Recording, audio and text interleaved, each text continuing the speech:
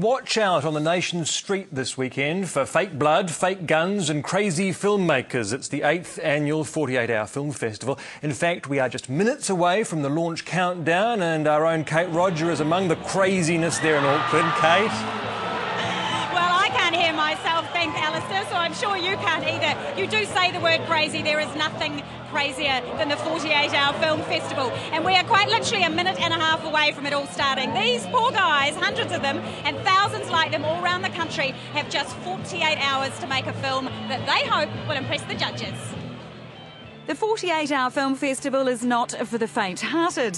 Every year, thousands of budding filmmakers sign up. They have 48 hours to write and shoot and edit and survive. There'll be a lot of screaming and hopefully laughter and tears on the Sunday night as people either make the deadline or don't make the deadline. And while those boys and girls have been girding their cinematic loins for this weekend, one 48 hour film festival veteran, well, he just decided to soak it up in his hotel bathtub. You know what I did earlier? I put on a face mask just because I could. But before I started doing 48 hour films, I wasn't allowed to do that sort of stuff. It was frowned upon. But now that I'm a famous 48 hour filmmaker, I can do whatever I want. Taika Waititi usually enters each year, but with his latest film Boy firmly planted at the top of the Kiwi box office, he's firmly planted in New Orleans, shooting The Green Lantern. In other words, he's come a long way from his 48 hour film festival days. Yes, good, my pizza has arrived.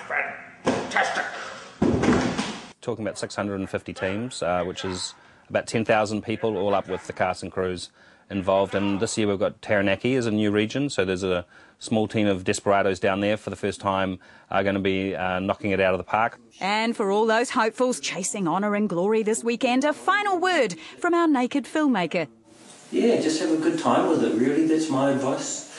And who knows, maybe one day you could be living all alone by yourself with no friends, drinking coffee out of a wine glass, naked. The countdown is quite literally on. Four, three, two, one. That's it. That's it. These poor guys have got just two days to make a film.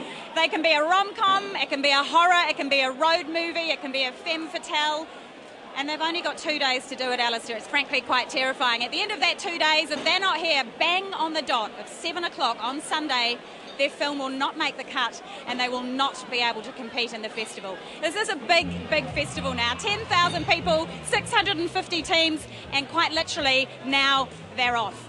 48 hours to go. Okay, Rodger, thank you very much indeed.